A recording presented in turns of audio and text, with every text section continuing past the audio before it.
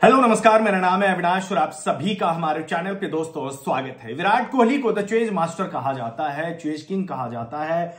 बहुत सारे एडजेक्टिव्स उनके लिए लगाए जाते हैं, उनके नाम से पहले लगाए जाते हैं, ज़ाहिर तौर पे। अब विराट कोहली को किंग भी बोला जाता है, लेकिन मेरे हिसाब से विराट कोहली अब किंग नहीं रहे, वो किंग के भी काफ़ी ज़्यादा ऊपर, यानी कि दी एम्पर बन चुके हैं। इसका नाम होता मतलब होता है राजाओं के भी जो राजा होते हैं ना वो अब बन चुके हैं। सम्राट विराट कोहली। और ये उपाधि जो है एमसीजी में जो इनिंग्स उन्होंने खेली थी उसके बाद दी गई। और मैं अब से या मतलब तब से उनको दी एम्पर ही बोलता हूँ। और किंग में बाबर को बोलता हूँ जिसपे काफ़ी ज़्यादा लोगों के आ, बहुत कुछ सुनने को मिलता है। बहरहाल, रन चेस की बात है तो एक आंकड़ा आया है और मैंने सोचा कि क्यों ना ये आंकड़ा जो है आप सारे फैंस को बताया जाए।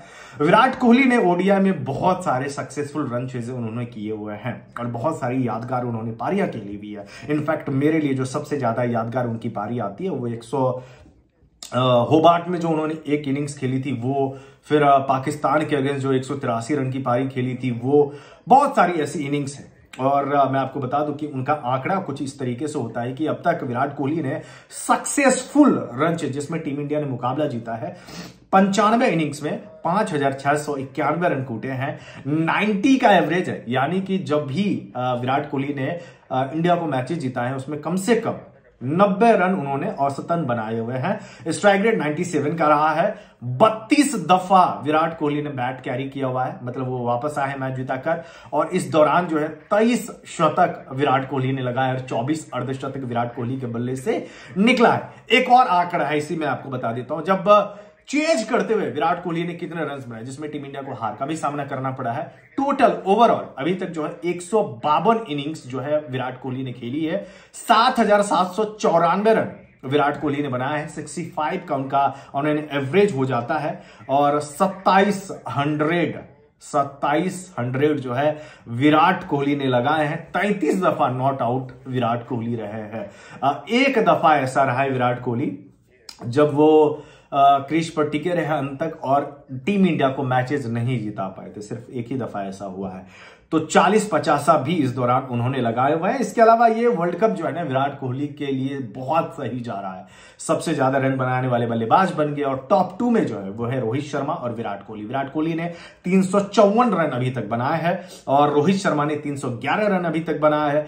मोहम्मद रिजवान ने दो सौ चौरानवे रन, जबकि रचिन रविंद्र ने दो सौ नब्बे रन और डेवन कोनवे जो कि आज खाता भी नहीं खोल पाए, उन्होंने दो सौ उनचास रन बनाए हैं। अब तक तो ये है टॉप फाइव प्लेयर कुल मिलाकर टीम इंडिया के लिए, विराट कोहली के लिए, रोहित शर्मा के लिए, हमारे बॉलर्स के लिए सबके लिए फ़िलहाल अच्छे दिन चल रहे हैं और 20 सालों के बाद हम लोगों ने न्यूजीलैंड को ठोका है यानी कि उनको हराया है। और ये भी एक बहुत बड़ी अचीवमेंट है। हमेशा आईसीसी टूर्नामेंट में न्यूजीलैंड के हाथों हम लोग हारते आए हैं।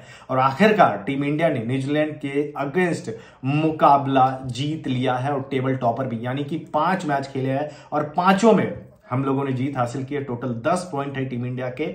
और अब दो और मैचेस हम लोगों को जीतना है। उसके बाद सेमीफाइनल की टिकट जो है हम लोग कटा लेंगे बहुत आसान तरीके से। तो अभी तो सब कुछ अच्छा चल रहा है इसलिए सब कुछ अच्छा ही लग रहा है और सब कुछ अच्छा ही बोलना पड़ रहा है।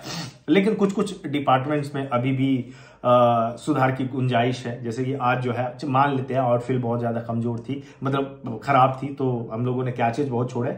बट ओवरऑल ज़्यादा कुछ कीड़े निकालने की ज़रूरत नहीं। श्रेयस अय्यर के बल्ले से रन हम लोग चाह रहे थे।